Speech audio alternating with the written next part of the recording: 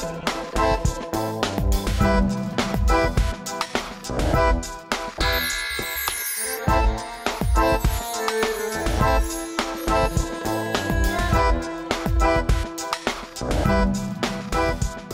to Connect When Disconnected.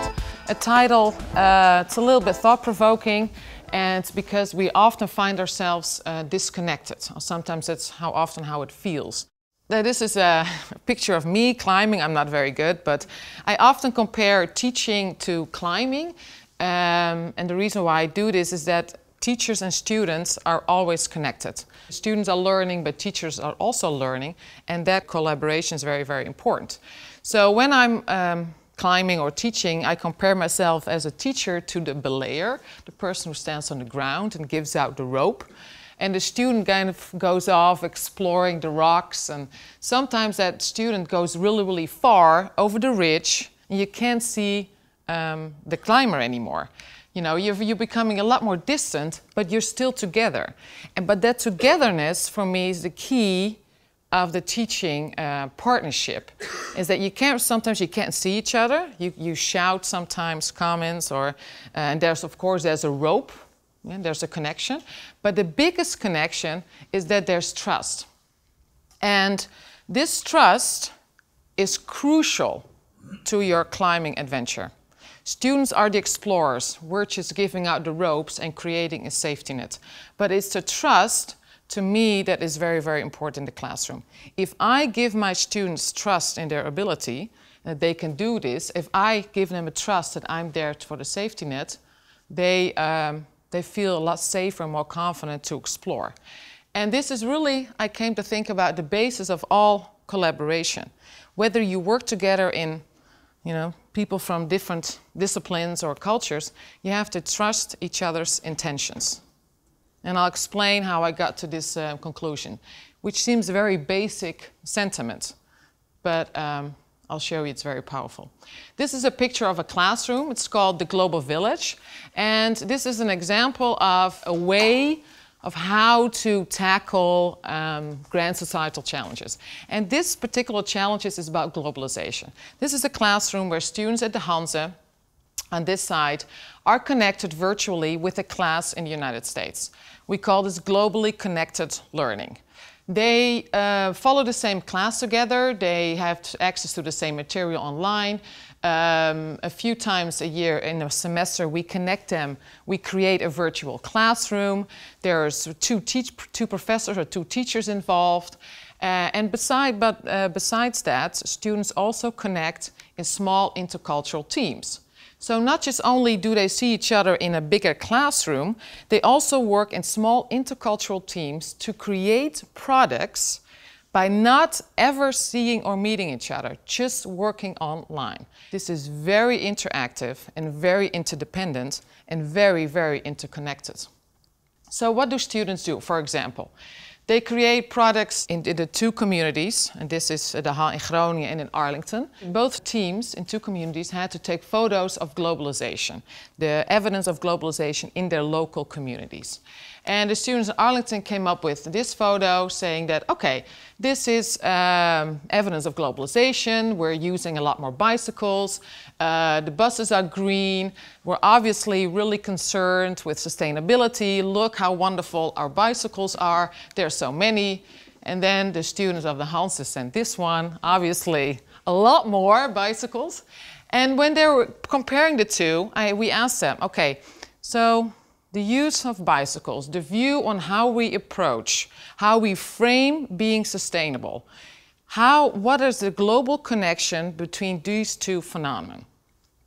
Uh, is this uh, on the left side in the United States like an idea, an, an, kind of an image of globalization, kind of an image of being sustainable? But we have been, we in the Netherlands have been riding our bikes for a very, very long time. Do we even think about the environment? It's just our main way of transportation. So here comes an historical context into play. So students from both sides had to, compare, to look for global connections in their local communities. But how do we ensure that these students stay connected? Um, through two very basic tools, which is trust, trust each other's intentions, and the other one is empathy. And trust and empathy seem very vague concepts. Like, how do you teach students trust and empathy? Well, there are actually really uh, hands on tools to do that. And by uh, teaching this kind of learning, and this is an example of the United States, but we also do this with students from Ghana, with, uh, from Finland. So we create online communities for students who cannot travel but still uh, want to learn from each other's perspective. The first strategy, just to make sure that students are connected, is that before we connect them online, we really try to connect them on an individual level, not based on their cultural identities. Because we believed, after a while, if we focus in the beginning on how different we are, students tend to develop a really us them uh, thinking dynamic. So we try to connect them. What makes you unique as an individual, and how do you connect with that other person? So really working on team spirit. Second one was practice what you preach. Now this is really important, I think, as a teacher.